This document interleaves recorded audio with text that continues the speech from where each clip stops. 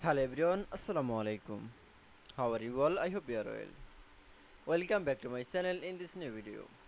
Today's video how to auto format in Microsoft Excel. So get let started. At first open your Excel document file. Firstly auto format in Microsoft Excel. Firstly select your all text into the format. Now keyboard press from the alter plus O plus A. That's the format is the schedule then analysis format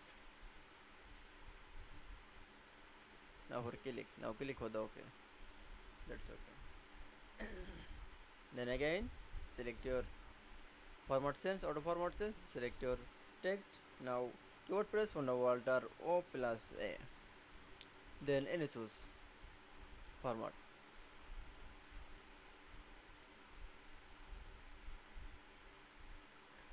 now for okay.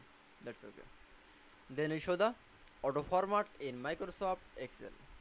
I hope to enjoy the video. Please like comment share and subscribe my channel. Thanks for